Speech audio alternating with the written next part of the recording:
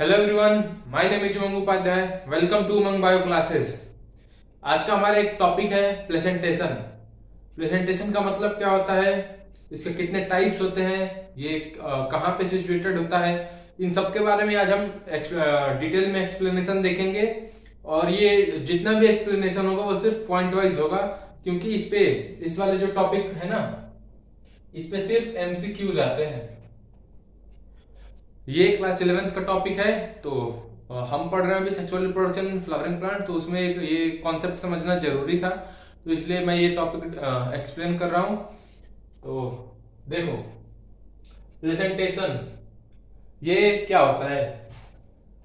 ये जो होता है वो कुशन लाइक स्ट्रक्चर होता है, ठीक है? Cushion like at which ovules are arrange देखो प्रेजेंटेशन एक कुशन लाइक स्ट्रक्चर है इन द ओवरी जिसमें ओव्यूल्स जो होते हैं वो अरेंज होते हैं।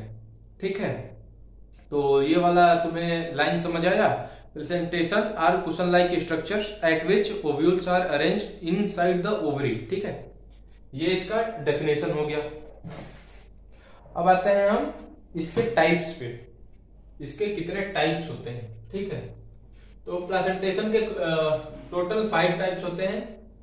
फाइव टाइप्स ऑफ़ हमारे एनसीआरटी में फाइव टाइप्स ऑफ़ प्रेजेंटेशन दे रखा है। तो आओ एक एक करके देखते हैं।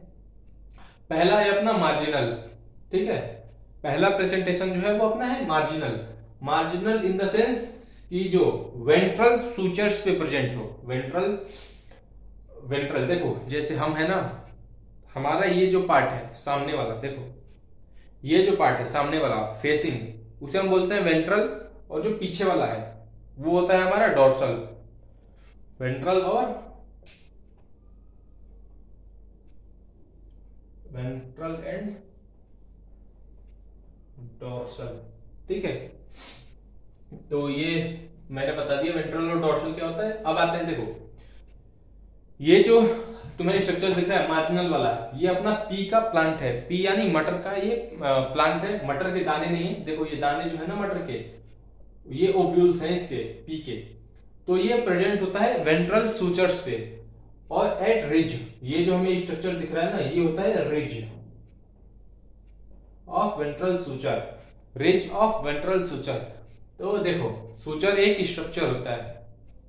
तो मार्जिनल में हम पी एग्ज़ाम्पल देखो, यहाँ इस बोर्ड पे जितना पॉइंट है ना, अगर इससे क्वेश्चन आया तो इसी पॉइंट में से आएगा। अगर प्रेजेंटेशन से अगर प्लेसेंटेशन से,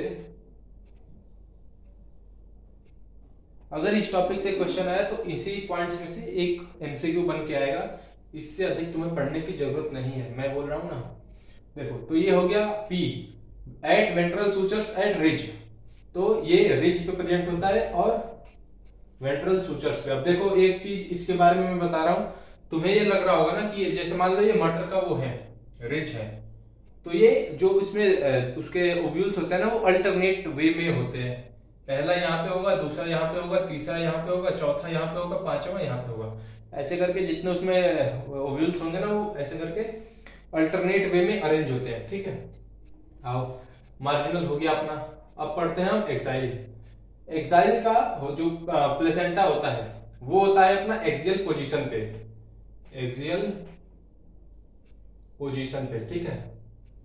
जो प्लेसेंटा होता है वो होता है अपना एक्सियल पोजीशन पे। और इसमें मल्टीलोक्यूलर देखो इस वाले डायग्राम को मैं यहाँ पे बना रहा हूँ अच्छे से।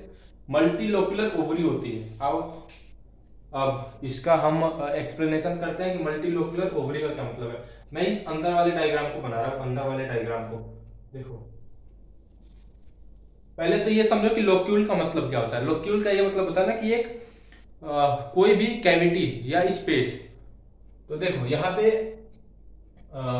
सिंगल लोक्यूल है तो इसमें क्या होता है ना, अपना एग्जाइल प्रेजेंटेशन में यहाँ से कुछ सेप्टम बोल सकते हो सेप्टम इन द सेंस जो स्ट्रक्चर किसी एक लोक्यूल को डिवाइड करे। तो यहाँ पे कुछ सेप्टम जैसे ये एक एक पार्ट हो गया, ये दूसरा पार्ट हो गया लोक्यूल ये थर्ड लोक्यूल हो गया। तो ऐसे करके ना ये मल्टी लोक्यूल वाली कंडीशंस बना लेती हैं, ठीक है? तो इस इस वाली कंडीशन को हम बोलेंगे मल्टीलोकुलर कंडीशन आ जाओ, इसके एग्जांपल्स होते हैं चाइना रोज सिट्रस और टोमेटो सिट्रस को लेमन सिट्रस लेस लेमन ठीक है?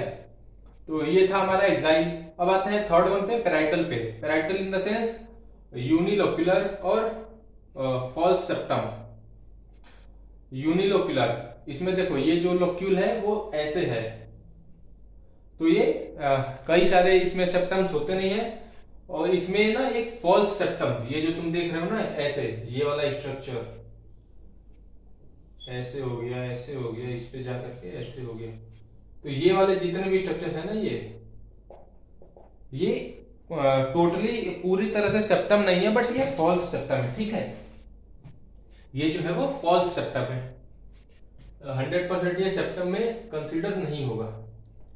इसके एग्जांपल्स मैंने मस्टर्ड और एग्रीमोन इसके एग्जांपल्स होते हैं मस्टर्ड और एग्रीमोन ये जो होता है वो इनर वॉल पे या ये दो जगह पे हो सकता है। या तो पेरीफेरी पे होगा या फिर इनर वॉल पे होगा।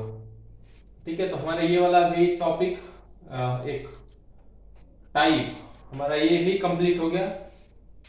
तो अब तीन टॉपिक हमारे कंप्लीट हो गए। अब हम आते हैं फ्री सेंट्रल से। देखो।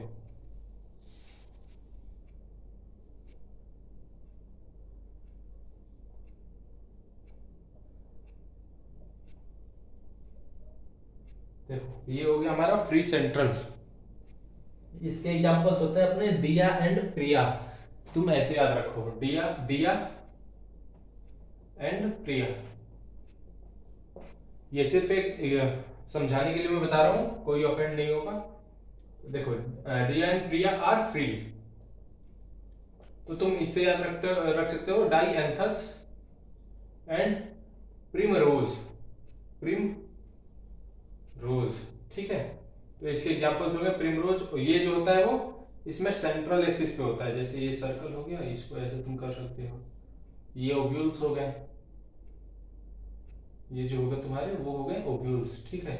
एनसीईआरटी में इसका डायग्राम अच्छे से दिया है, तुम देख सकते हो एनसीईआरटी का डायग्राम क्लास इलेवेंथ में मॉर्फोलॉजी ऑफ़ फ्लावरिंग प्लांट में लास्ट में होगा ये।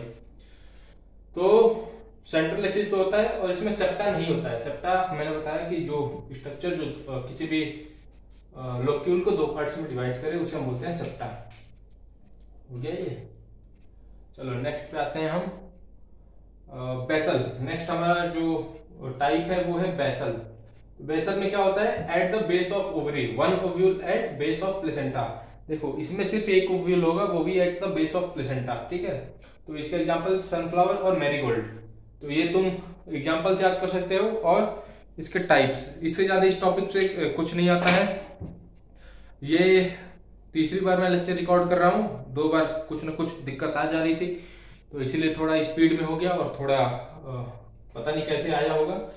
अगर नहीं समझ आया तो इसे रिपीट करके तुम देख सकते हो। इसमें ज़्यादा कुछ समझने वाला था नहीं, सिर्फ़ स्ट्रक्चर था और इसका एग्जाम्पल्स थे। तो आई होप समझ में आएगा चलो फिर मिलते हैं नेक्स्ट क्लास में।